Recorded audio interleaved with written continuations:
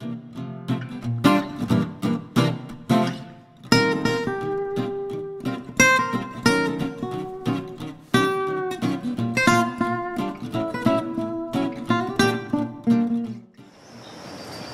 I'm Kim Gazier for Jerry Baker, America's Master Gardener.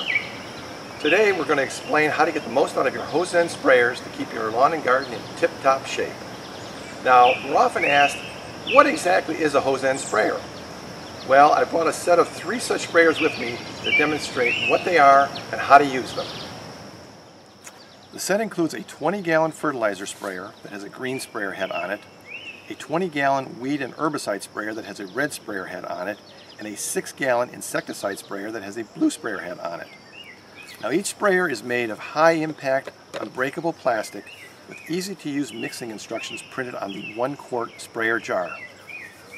The sprayer heads are specifically calibrated so that the contents of the sprayer jar are sucked up into the siphon tube uniformly where they're mixed with the correct amount of water for application to your lawn and garden.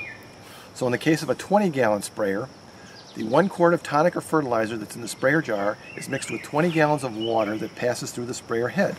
That's why it's called a 20 gallon hose end sprayer. And in case of the 6 gallon hose end sprayer, the one quart of tonic in the sprayer jar is mixed with 6 gallons of water in just the same way. Also, each hose end sprayer has an easy on-off thumb switch and a black removable tip that's used for either wide or high stream applications. That's all there is to it.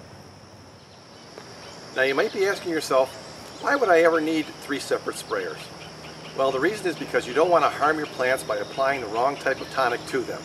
For instance, herbicides can leave a residue in the sprayer jar or in the sprayer head, even if they've been thoroughly cleaned out. And if you use that same sprayer the next time to apply fertilizer, you might just end up applying a little leftover herbicide to your prize-winning petunias. And that, my friends, would be a disaster. So make sure you stick to a fertilizer in your green sprayer weed killer in your red sprayer, and insecticides in your blue sprayer. These hose end sprayers are perfect for applying just about any liquid lawn and garden treatment, and especially Jerry Baker's world famous do-it-yourself tonics. All you've got to do is mix the ingredients in the sprayer jar,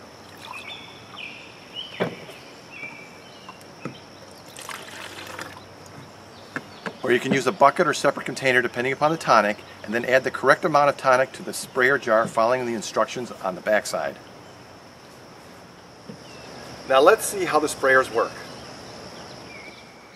Once you've got your tonic in the sprayer jar,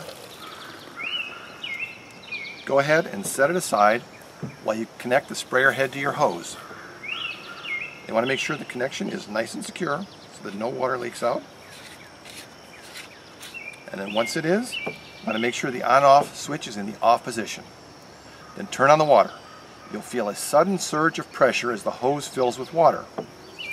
And all you've got to do is simply attach the sprayer head to the sprayer jar. As you can see, it screws on very easily, and you're good to go. As far as applications go, you'll want to leave the black tip on the sprayer head to get a nice wide, even application that'll cover a lot of ground in a hurry. You can use this tip on your lawn, your flowers, your vegetable garden, or anything else that's low growing and requires a nice, gentle, even spray.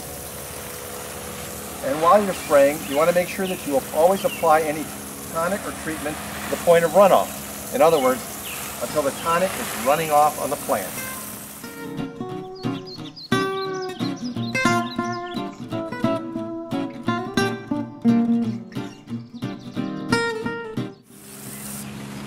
You want to give your trees and taller shrubs a little TLC, then just remove the black tip from the sprayer head and you'll get a nice steady stream of tonic or treatment that'll shoot upwards of 15 feet in the air. Again, you do it in a nice, uniform, consistent manner, making sure you cover all of the area that needs to be covered. And that, folks, is all there is to it. Here are a couple of special tips. First, Always put an old golf ball in each of your sprayer jars and leave them in there. The golf balls will bounce around as you move through your yard, keeping the contents thoroughly mixed. It will also help prevent any buildup of debris that could clog the sprayer as you're trying to work. Also folks, it's very important to remember that applying any sort of treatment or tonic to your lawn and garden is definitely not a spectator sport. So please make sure that your spouse, kids, and the dog are safely inside or not anywhere near the area that you're spraying.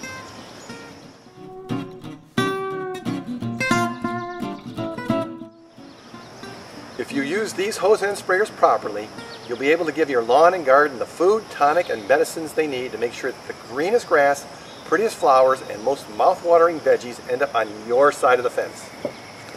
Thanks for joining us, and see you next time for more of Jerry Baker's terrific tips, tricks, and tonics. And as always, good luck and good gardening. To order your own set of all-weather, indestructible Jerry Baker hose end sprayers, please visit jerrybaker.com.